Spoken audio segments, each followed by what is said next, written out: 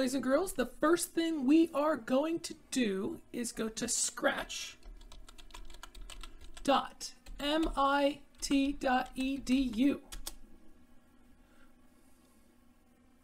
And on this website, you need to create an account. Now, if you already have an account, that's fantastic. You are more than welcome to use that account. So I'm going to click Join Scratch. Let's make this a little bit bigger so we can see everything. Click Join Scratch. Now I need to pick a username. So I'm going to choose a username. Now it might be taken already.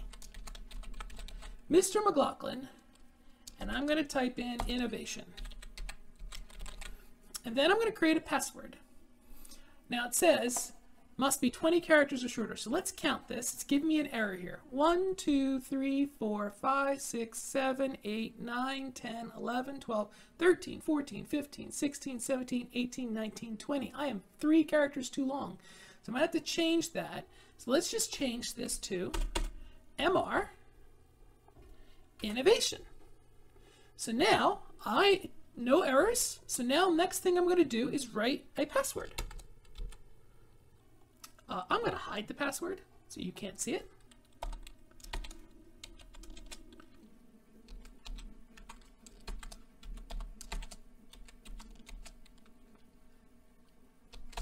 Make sure it is done correctly in both spots. It'll give me an error if it's not. And I'm going to hit next. Now I have to choose what country I live in. And I live in the United States of America. And I'm going to click next. By the way, that little button window that came up that said save your password, that's a good idea. So that way you, just in case you forget, it does keep you logged in. What month? I was born January, a long time ago, 1973. And it says it will keep this information private for us. So we they use this information just to confirm ownership and if you contact their team online. So then I got to choose a gender. I get to say whatever I want, or I could just choose not to say. So I'm going to choose not to say. Then I have to put an email address. This should be your school email. Uh, if you already have an account with your school email and you forgot your username and password, we can go over that. But I'm going to first put in an email address. And I think I want to use the one that's associated with this one. Yes.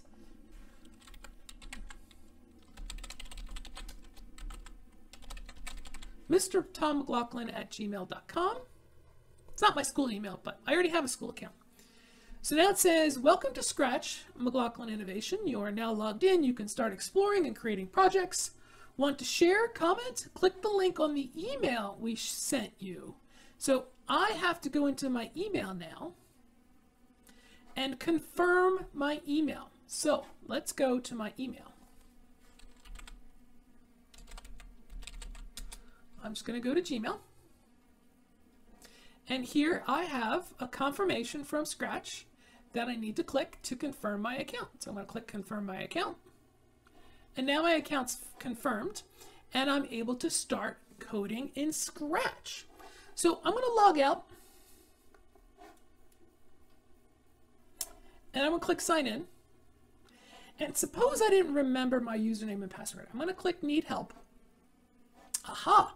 And I could put either in my username or my email address. So if you use your school email address, you would put your school email address in. I'm going to put my email address in.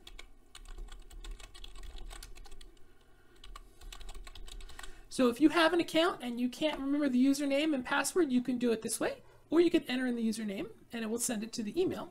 But I'm going to enter in the email because most of us remember our email. And then when I go into Scratch, it, uh, excuse me, into my email, oh look, it says, Hi, Mr. McLaughlin. You received this email because you requested a reset for your user account on Scratch. If you didn't request this password change, you can just ignore this message. Please go to Scratch, the following page and choose a new password. So I would just click this link and type in a new password. So I would click that, type in a new password. I'm going to use the same one.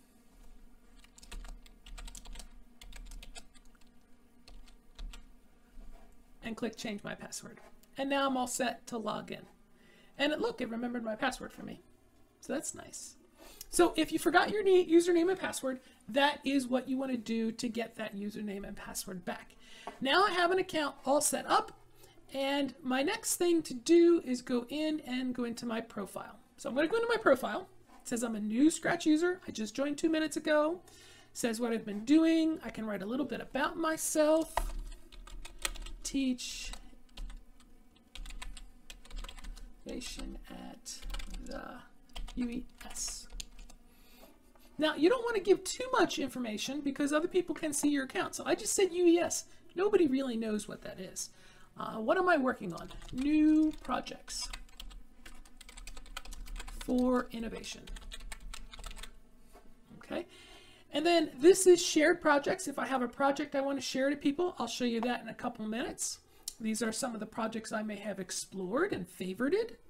And then these are some people who may be following me who are interested in seeing what I'm doing. Then all the way down here, there's something called turn commenting off. I'm going to turn that off for now. You probably want to do the same thing because we're not really interested in what other people say to us through Scratch right now. If you're really interested, you could leave it turned on, but I think most of you should just turn that off. So now I can change my picture. So I'm going to click on the little cat picture here. And I got to click on the word change. Then I got to go and find a picture. So let me see if I have a picture somewhere. New Hope. Oh, that's a good one. There we go. That's a good logo for Mr. McLaughlin. Now I'm going to click on Scratch and I'm back on Scratch and you can see my picture's there, my name's there. And I got a message. It says, welcome to Scratch. After you make projects and comments, you get messages about them here. So go into the message box and I can go explore a project or make a project. So if I want to create something, so we're going to click on create and create a little project together. I have my little cat here. We're going to say do something really simple. And most of you probably already know how to do this, but we're going to click on when green flag clicked. That's this event right here, right under events. When green flag clicked, drag that in. And this is the coding window. Over here where the cat is, this is our stage. Down here, we can control all of the different sprites. So sprite one is our cat. I'm going to rename him and call him cat. This is where he's located. Right now he's at 0, 0. If I move him around on the screen, these numbers change for me. So we can see down here is negative and negative. Over here is x is positive and y is negative. Up here, both numbers are positive, and over here, the x is negative and the y is positive. Now, some of you in uh, your math classes may have already talked about the Cartesian coordinate system. This is based on the Cartesian coordinate system. So we have 0, 0 right here in the middle. So I'm going to put my cat at 0, 0. I can just type the number in. Direction. This is the direction the cat is facing. So I can spin him around and around. 90 degrees is facing that way. That's negative 90 degrees, but it puts him upside down. But if I go around this way, still upside down. So I want to be able to get him to turn the other way without going upside down. That's not a rotation, that's a flip. So what I want to do let me close this. Set him back at 90. Press enter. Um, I want to flip his direction, and that's another control. So I have to change his di direction. And I can have him point in that direction, 90 degrees. I can set the rotation style left, right. Now when I do it this way, he turns around left and right. So he doesn't spin in a circle. So this is a very important block. If I want to just get him to turn left and right, he won't go looking up and down. He's only going to go left and right. If I want him to get to spin in circles, I have to go like this. Oh, I have to hit the block. I have to spin him all the way around in circles. If I don't want him to rotate at all, that means no matter what I do here, he's not going to spin. So I'm going to set him back to left-right motion. That is a good thing for us in most of what we're going to be doing because we want to just be able to go left and right. Some things will have spin all the way around, but our cat is pretty good going just left and right. Then the next thing I want my cat to do is I want him to say something. So I'm going to get him to say hello for two seconds. Now I could change this to whatever I wanted. I could say hello to the world. Exclamation mark. So when I sit, hit my green flag, that will tell the computer to make this event happen. It will set the rotation style so he doesn't spin around and it only goes left and right. And it will say hello to the world for two seconds. Let's try that. And it worked. He said hello to the world for two seconds. That was perfect. The next thing I want to do is I want to change the title. So that way it's titled, right? Hello World. Then there's this beautiful little orange button here. Let me make this bigger so we can see it. This orange button is really important.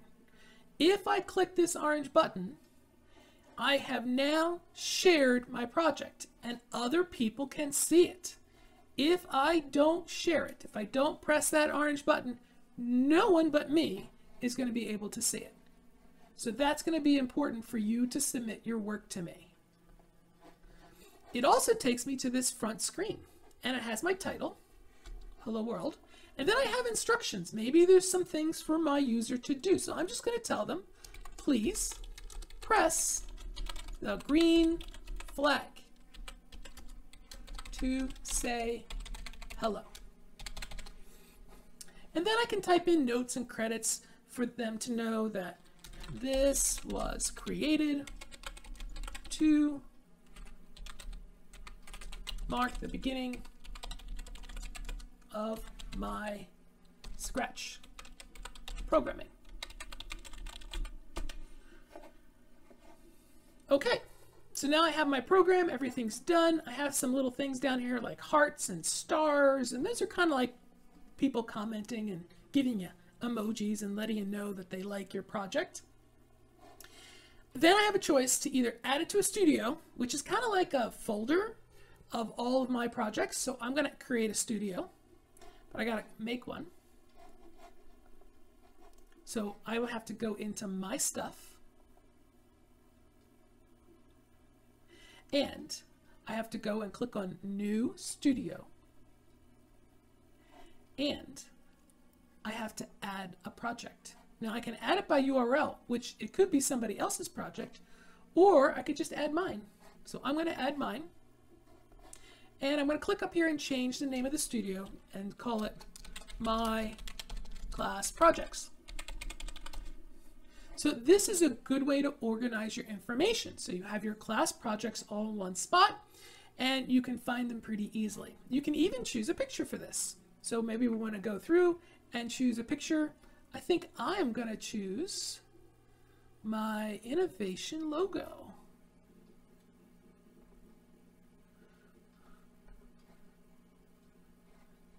Let's see, right there.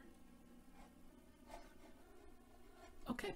Oh, it's too big. So I'll have to shrink it later and choose the innovation logo. It has to be 500 by 500 pixels. So I'll go back and do that. So then I'm going to go back and click on my project again. Takes me right back to my project. I can see hello world, see all my directions. If I want to share this, either in Canvas or to um, another student or to Seesaw, whatever, or if I just want to make a card or something and send it to a grown-up that is a favorite of mine, I can click copy link.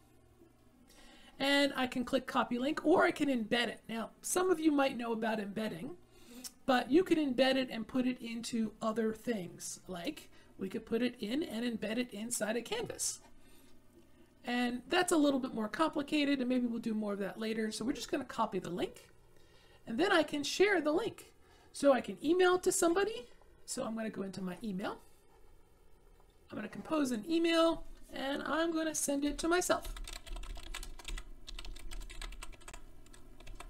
My first project. And I'm going to just click send, and now I have that sent to my email. Um, you get to play with different games and try different things and make your own code, and that is what Scratch is all about. And I hope you had a whole lot of fun.